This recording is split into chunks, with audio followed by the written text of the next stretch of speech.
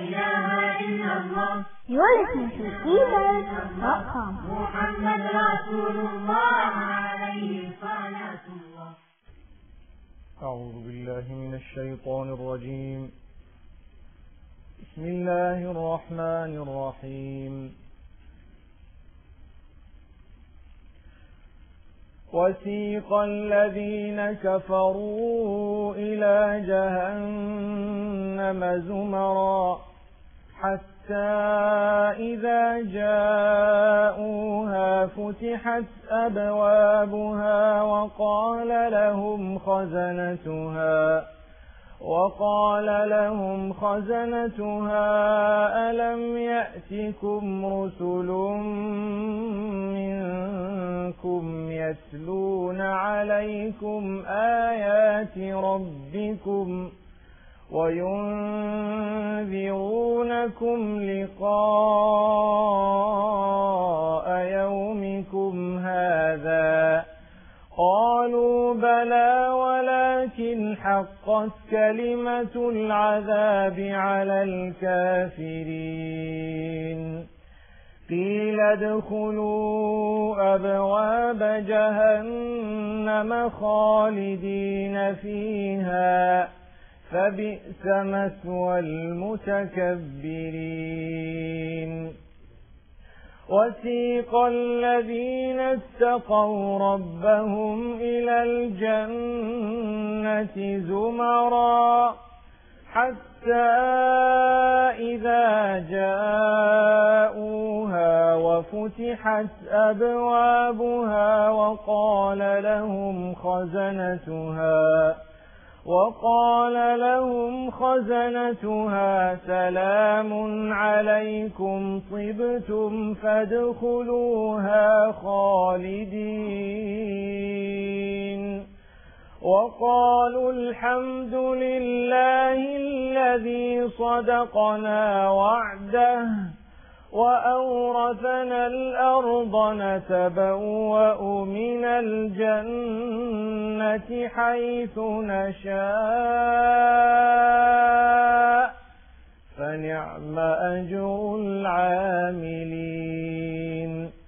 وترى الملائكة حافين من حول العرش يسبحون بحمد ربهم وقضي بينهم بالحق وقيل الحمد لله رب العالمين صدق الله العظيم السلام عليكم ورحمة الله وبركاته. بسم الله والحمد لله والصلاة والسلام على رسول الله وعلى آله وأصحابه ومن اهتدى بهداه وبعد. All praise is due to Allah subhanahu wa ta'ala, creator, nourisher, cherisher, sustainer, provider, protector and curer of myself and yourselves and of entire creation. complete blessings and salutations be upon the masterpiece, Muhammad sallallahu alayhi wa sallam, and all his companions. May Allah subhanahu wa ta'ala bless them and bless the ulama of this ummah. And may Allah subhanahu wa ta'ala bless us all. And may Allah subhanahu wa ta'ala bless our offspring for generations to come up to the day of Qiyamah. And may Allah keep us steadfast on this deen. اللهم لا علم لنا إلا ما علمتنا إنك أنت العليم الحكيم اللهم علمنا ما ينفعنا وانفعنا بما علمتنا اللهم انا نعوذ بك من علم لا ينفع ومن عين لا تدمع ومن قلب لا يخشع ومن بطن لا يشبع ومن دعاء لا يسمع O Allah, we ask you to grant us knowledge that will be beneficial and we seek your protection from knowledge that will be of no use. We also ask you to grant us benefit from whatever knowledge you have granted us and we ask you to protect us from eyes that will not cry for your sake. And we ask you to protect us from stomachs that will never be filled, from souls that will never be content. And we ask you to grant us protection from all forms of evil, Ya Allah. Honored ulama and beloved brothers and sisters and dearest listeners, I would like to speak on the topic of a hadith of Rasulullah sallallahu alayhi wa sallam. I will introduce it by introducing the Sahabi, the companion who has narrated this hadith. His name is Abdullah ibn Salam, radiallahu anhu. A very brief history as to who he was. He was a Jewish rabbi. He was one of the Jewish leaders, the, the spiritual leaders of the Jews. And the reason why the Jews had moved to Al-Madinatul Munawwara was because they found it in their books that there will be a prophet to come. And this prophet will be in an area where there will be lots of date trees with lots of crops in terms of date, the date plant. So they looked for the date plantation and they shifted to Al-Madinatul Munawwara because they found that in that city and around the city the descriptions were fitting, the same descriptions in their books. And they lived there as Jews. And there came a day when Rasulullah sallallahu alayhi wasallam came to Al-Madinatul Munawwara. We all know of the Hijrah. He was driven out of his home sallallahu alayhi wasallam in Mecca. Most of the Sahaba radiallahu anhum had to leave behind their properties in Makkah al-Mukarramah. They had to leave behind their belongings for the love of Allah subhanahu wa ta'ala. فِرَارًا إِلَى اللَّهِ بِدِينِهِمْ They ran away. The only property they had was the deen of Allah subhanahu wa ta'ala. The rest they had left because they knew there was an option ahead of them. Either they chose the dunya and they gave up the deen, or they chose the deen and they gave up the dunya. They, they, the Sahaba radiallahu anhum chose the deen and gave up the dunya. And in return, Allah gave him the dunya and more than the dunya. Abdul Rahman ibn Auf radiallahu anhu was one of the greatest companions in terms of wealth. He sat with a hulla, hulla meaning a little gown, which was worth 120,000 dirhams. Allahu Akbar. I don't think any Lexus that would be bought today would be that expensive. And yet he stood right next to Umar ibn al-Khattab radiallahu anhu in the same saf of salah. And they read salah next to Bilal ibn Rabah and the others radiallahu anhum jami'a. Not once did that wealth bring pride in any one of them. And yet when they left their houses, they left with nothing. Completely nothing. Nil. With us, we are fortunate that we are not given that option. Rather, we are to make choices on a daily basis whereby we've got to choose a little bit more of one of the two. Not like we are told to leave out one totally, but we are, cho- we are asked to make a decision to, to give the deen preference over the dunya. And still we have the dunya. May Allah subhanahu wa ta'ala grant us barakah in our dunya and in our deen. So Abdullah ibn Salam radiallahu anhu, he was this Jewish person whom when Rasulullah sallallahu alayhi wasallam came in on the occasion of Hijrah, he noticed the cloud. There was a cloud that disallowed the rays of the sun from harming Muhammad sallallahu alayhi wasallam. It always covered the sun, especially when the sun was in the hottest moment of the day. It was always covered by a cloud so it would not affect Muhammad sallallahu alayhi wasallam. This miracle was even prior to Nubuwah. And it was noticed by some people who had known that to be the sign of prophethood. There was another Christian rabbi, a Christian priest, who had noticed this when Prophet ﷺ was very young. His name was Bahira. I'm sure some of us may have read the seerah, and we might have read about it. And he noticed that even the tree had actually covered the Prophet ﷺ and shaded him, and it had moved very slightly. If we were to look at it, we would think that the wind is blowing, and that's why the tree has actually come to one side. But sallallahu alayhi wasallam, the tree had actually brought its leaves to one side. The one man who was seated at a great distance noticed it and he knew that I know from the books of the Christians that there will be a Nabi who will come and sit at that particular tree. And this is exactly what will happen. So he went to the uncle of Rasulullah sallallahu alayhi wasallam and told him, get this nephew of that, of, yours back to Makkah as soon as possible. Definitely I see something great in him. May Allah subhanahu wa ta'ala grant us all the acceptance to understand the, the value of this deen and how fortunate we are to be following Muhammad sallallahu alayhi wa sallam. This Abdullah ibn Salam had then seen some of these signs. When he saw these signs, he said, let me go and see this person's face. Now you can imagine when a big scholar comes to your masjid, big scholar, say one of the imams of the haram has to come. To get a glimpse of him would be quite difficult because everybody would be surrounding him. Imagine if Rasulullah sallallahu alayhi had to walk in here. I don't think it would be possible for many of us to even get close. May Allah subhanahu wa ta'ala grant us understanding. Obviously it's not going to happen, but it's just to bring it close to your mind. So when Rasulullah sallallahu alayhi wa sallam entered Madinatul Munawwara, there were people around him. The Muslimin found it quite difficult at times to get right to him at that particular moment when he entered Madinatul Munawwara. And here was a man who was Jewish, who decided, no, I must look at this man. I must see him. And it is reported that he got a chance to get a glimpse of Muhammad sallallahu alayhi wa sallam. When he got a glimpse, he looked at him. And he says later on, Wallahi, when I saw the face of Rasulullah sallallahu alayhi wa sallam, I knew that this is not the face of a liar. Allahu Akbar. I knew automatically the nur on this face is not that of a liar. He won't lie. This man is truthful. So he watched and he waited and he saw. And he says, already at that time, Iman had entered my heart. Already at that time, Iman had entered my heart. You know, just to pause for a moment to divert very slightly. With us, MashaAllah, we read the whole Quran. Don't we read khatams, at least on an annual basis, some of us? Don't we read it in Ramadan at least? Quran from cover to cover. What does it do to us? What does it do to us? Let me show you what it did to those who were non-Muslims when they understood the Quran. Umar ibn al-Khattab radiallahu anhu was one of the most powerful enemies of Islam. And Rasulullah sallallahu alayhi wa sallam had made a dua that day, that morning. He says, Allahumma a'izz al-Islam bi ahad al-umarain. Oh Allah, grant entry into Islam and grant the strength of Islam through one of the two Umars. Who were these two Umars? One was Umar ibn al-Khattab. He was a powerful non-Muslim. He was feared. When people saw him, they would go away. They would really go away. They knew this man, don't mess with him. I hope there are no such people in Leicester, inshallah. So, that was one Umar ibn al-Khattab. The other one was Amr ibn Hisham, also known as Abu Jahl. Abu Jahl was known as Amr ibn Hisham.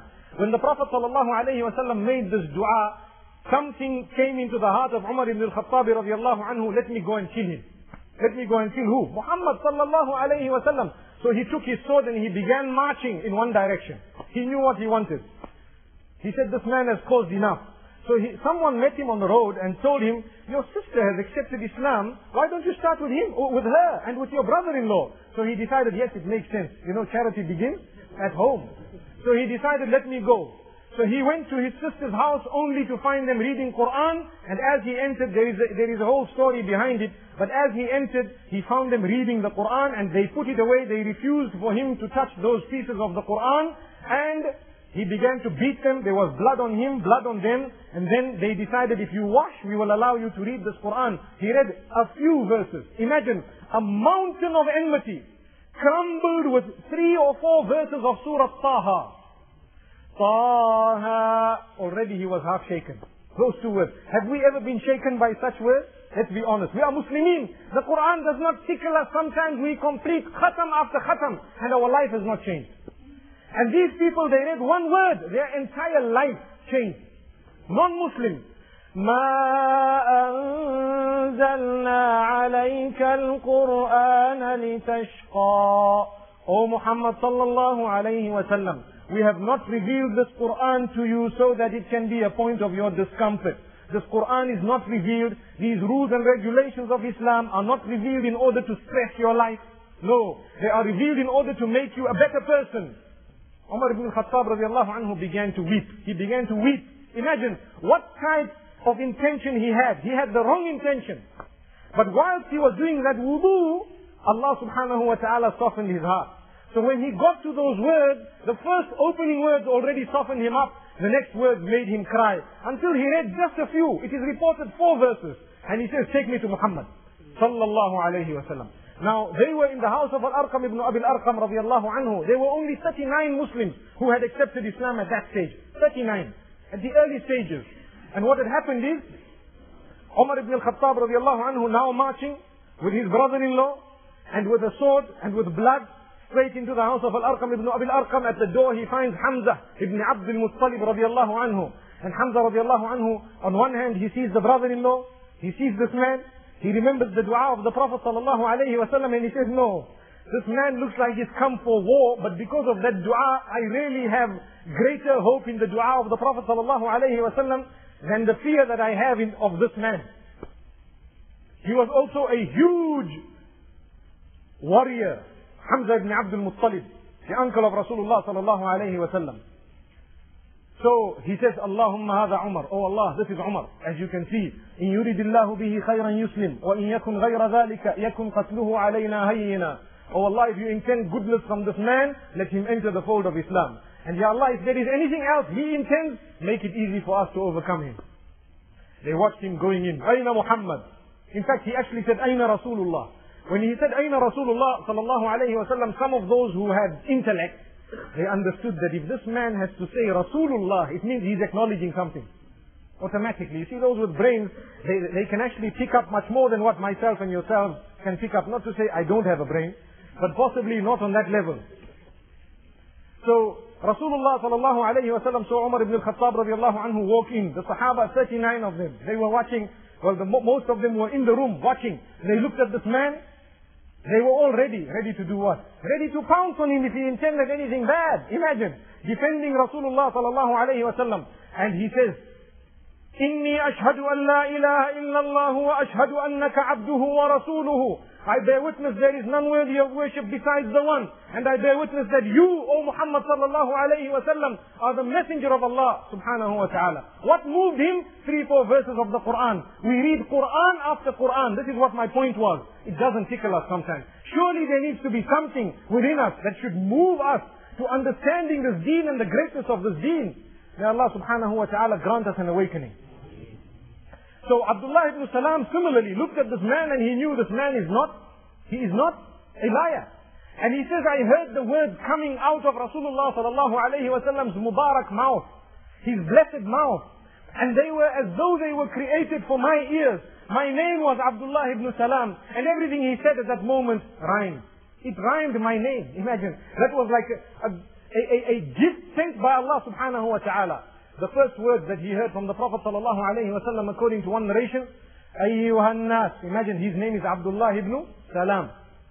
Abdullah son of Salam. He heard أيها الناس أفشوا السلام وأطعموا الطعام وصلوا الأرحام وصلوا بالليل والناس نيام تدخلوا جنة ربكم بسلام سبحان الله. These were the words. And he says, I said شهدت أن لا إله إلا الله وأن محمد رسول الله. sallallahu alayhi. In another narration, this happened again later on as well. So he related this hadith and he says, these are the words I heard from the Prophet sallallahu alayhi wasallam. So today, that hadith that moved someone who had knowledge of the book, I'd like to repeat it here in the house of Allah subhanahu wa ta'ala for my benefit. And then for yours inshallah. Afshu salama. Ayyuhan nas, addressing the people, O people. The message was for everyone, Muslim and non-Muslim. The message was for Muslim and non-Muslim, not just for Muslims, but for non-Muslims as well. Afshu salama. Now, to bring you into the picture, let me explain to you that the end of the hadith explains what the beginning is all connected with and connected to. So let me tell you what the end says. The end says, if you would like to enter paradise, then this is what you should do.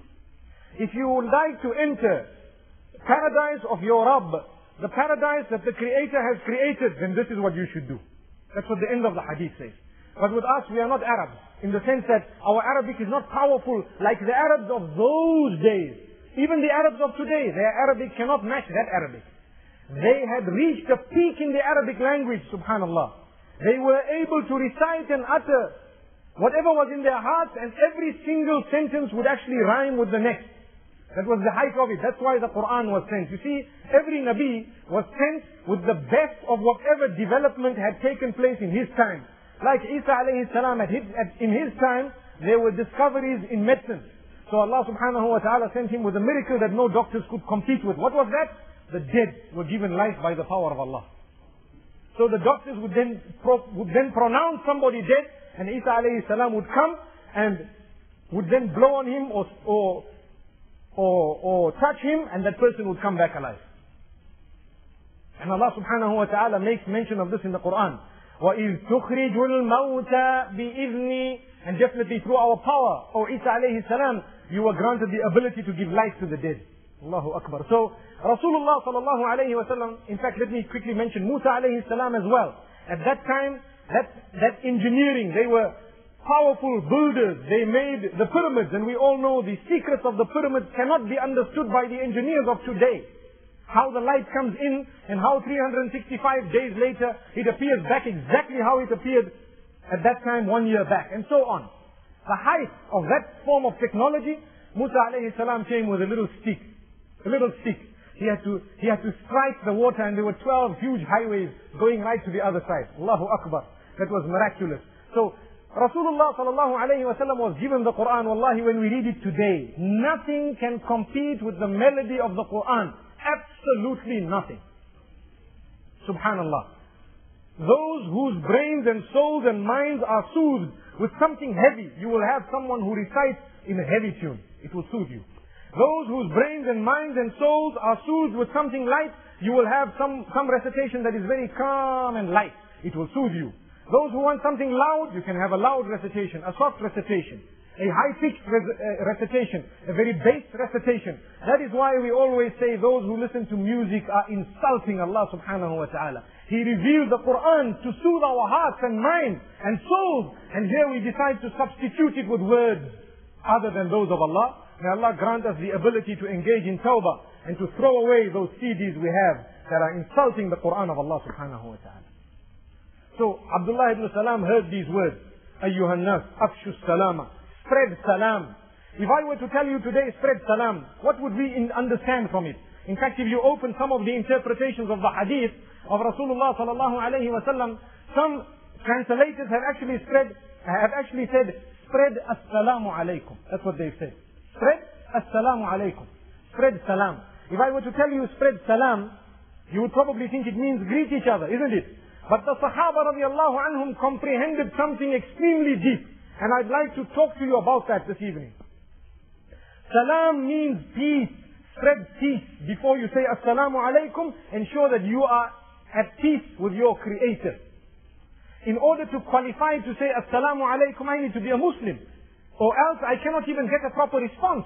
We are taught to say Wa alayka or wa alaykum Or وَعَلَيْكَ مِثْلَ الَّذِي قُلْتَ If the person is a non-Muslim, because you know they are not at peace with their own creator, why should I then respond the entire response? I can say, look, and to you. I don't even know what they've said. At the time of the Prophet sallallahu alayhi wa sallam, Aisha radiallahu anha once heard some of the kuffar saying, Assamu alaykum, Assamu alaykum, And she said, what?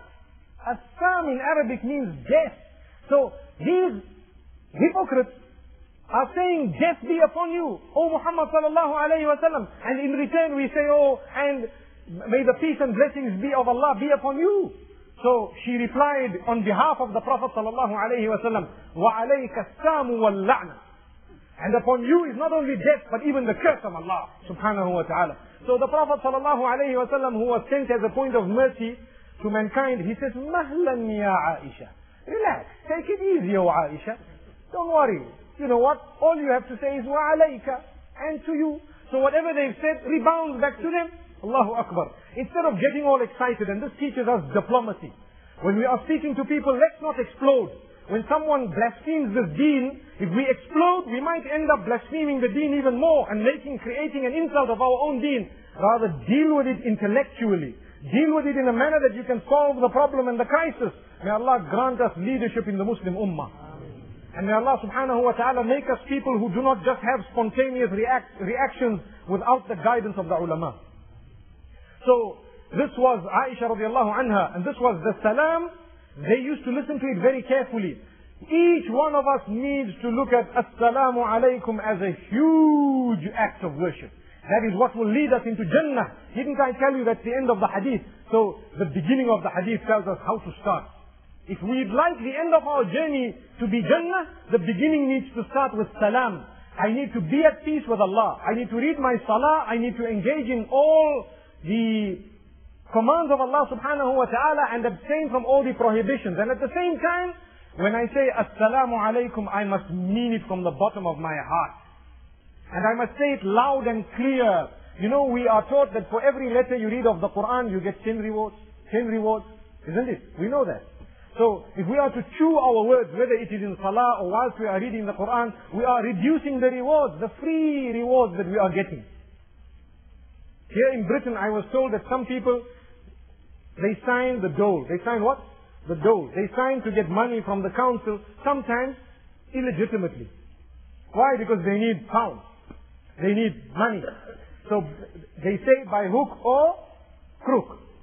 Here we are doing something wrong in order to achieve a pound or two that might help us in the dunya, and it might not help us if Allah decides to take us away right here and right now. And there we have only words that we need to utter clearly for something much more valuable than pounds and dollars to literally ring up in our account and we can't even say that assalamu alaikum clearly and we can't even read the Quran clearly. Just if we read the Quran clearly and if we greet nice and clear, we will be achieving something much more valuable than pounds and dollars and that we're not ready to do. Why? Is that not hypocritical? And whereas when it comes to the dunya, we're ready to do wrong in order to achieve one or two things that we feel in our minds might get us through to next week. May Allah protect us. Look at how we've become. So is that peace? That's not peace. If we are doing something wrong, can we ever get something right out of it? No. Inshallah, Allah help us to be straight and inshallah to be steadfast Muslims. So, here we have the speech of Rasulullah sallallahu alayhi wasallam speaking about the importance of salam and peace. And I'd like to remind yourselves and myself that when we say assalamu alaikum, it does not only mean peace be upon you. No. The English language does not qualify to translate the Arabic language at all. Not at all. Not even in the least. When I say salah, salah is not prayer. Prayer is dua. Have you ever thought of that? If you go and tell a non-Muslim, please pray, he'll probably clasp his hands and say, Oh Lord, give me this and give me that. I'm praying. So if you tell a Muslim pray, he's got an option. There's four or five things he can actually do. He can either make dhikr, he can either read Quran, he can either go and read salah, or he can make dua. So what does prayer mean? It is just it is a smell of the meaning of the word salah. That's it. And if you are a Muslim or you've had something to do with Islam, you might know that when we say we pray five times a day, then we are using the word prayer to refer to something known as salah, which unfortunately the English language cannot translate in one word.